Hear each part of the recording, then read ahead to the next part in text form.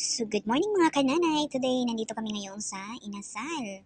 Kasi birthday ng aming friend. Big love shoutout sa'yo, Bestie Hanalin. Happy birthday!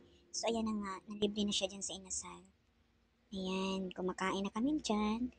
Bantala yung isa is busy-busy naman yan sa pagka-selfie-selfie. So, ngayon, ang result ay hindi gumagana yung kanilang selfie stick, mga kananay. Ayan, Nagpakahirap talaga, o di ba? O si, o sige pa, pindot. Pindot pa, o tingnan mo, o. No, sige, hayayaan ko kayo dyan mag-selfie-selfie basta ako lumalamon na. Ayan, bahala kayo dyan.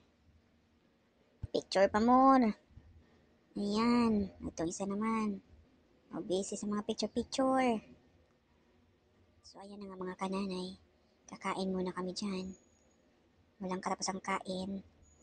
So, itong isa, oh, na naman siya sa kape-video. Na, sige, bahala kayo. Basta ako, kakain ako. Bahala kayo dyan. Ito, oh, yung tingnan mo, yung kami na malaki dyan, oh. Oh, yan, oh, oh. Yan, hulaan nyo, kanino kamay yan. Bahala kayo dyan. Basta ako. Oh, eh, selfie na naman itong isa. Ah, sige. Selfie. Selfie ka dyan, sige. Thank you for watching mga kanana. Bye!